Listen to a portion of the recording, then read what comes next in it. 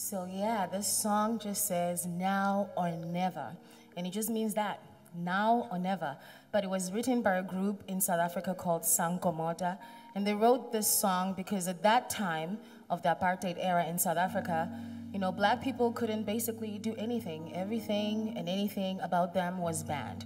They couldn't go to school. They couldn't apply for jobs. They couldn't, they couldn't do anything. So they wrote this song to encourage the black person that don't sit and wait to come and be helped. Stand up, shake up, shake things up, do something to help yourself. Because if you think you're going to wait for Mandela to come out of jail and save you, you're going to wait forever. So it just basically says, now or never, stand up, get up, do something.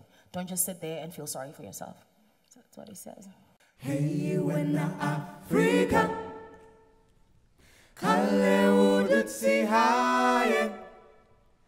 Tamaya loli patlela du har uike tete.